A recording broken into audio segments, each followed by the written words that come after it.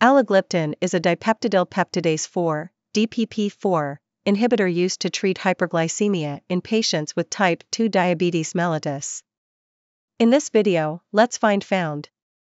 What is alogliptin? What is alogliptin used for? Contraindication. What are the side effects of taking alogliptin? How does alogliptin work? How to use alogliptin? What is alogliptin? Alogliptin, sold under the brand names Nesina and Vipidia, is an oral antidiabetic drug in the DPP-4 inhibitor class. Alogliptin does not decrease the risk of heart attack and stroke. In April 2016, the U.S. Food and Drug Administration, FDA, added a warning about increased risk of heart failure. It was developed by SYRRX, a company which was acquired by Takeda Pharmaceutical Company in 2005. In 2020, it was the 295th most commonly prescribed medication in the United States, with more than 1 million prescriptions. What is alogliptin used for? Indicated as an adjunct to diet and exercise to improve glycemic control in adults with type 2 diabetes mellitus. Contraindication Alogliptin is contraindicated in patients with a history of hypersensitivity to alogliptin, such as anaphylaxis, urticaria, angioedema, exfoliative dermatitis, or other serious allergic skin condition including Stevens-Johnson syndrome, or bronchial hypersensitivity. Side effects The most common side effects of Nesina include cold-like symptoms. Try taking paracetamol or ibuprofen regularly for a few days.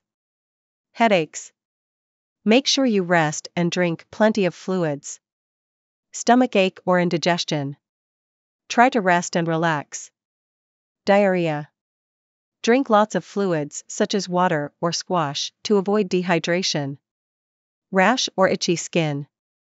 Pharmacodynamic. Peak inhibition of DPP4 occurs within 2 to 3 hours after a single dose administration to healthy subjects. The peak inhibition of DPP4 exceeded 93% across doses of 12.5 mg to 800 mg. Inhibition of DPP4 remained above 80% at 24 hours for doses greater than or equal to 25 mg. Alogliptin also demonstrated decreases in postprandial glucagon while increasing postprandial active GLP-1 levels compared to placebo over an 8-hour period following a standardized meal. Alogliptin does not affect the QTC interval.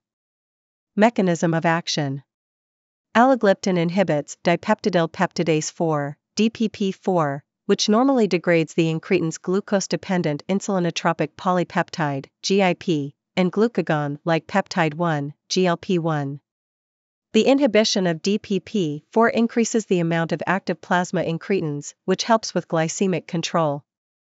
GIP and GLP-1 stimulate glucose-dependent secretion of insulin in pancreatic beta cells. GLP-1 has the additional effects of suppressing glucose-dependent glucagon secretion, inducing satiety, reducing food intake, and reducing gastric emptying. Half-life Terminal half-life equals 21 hours.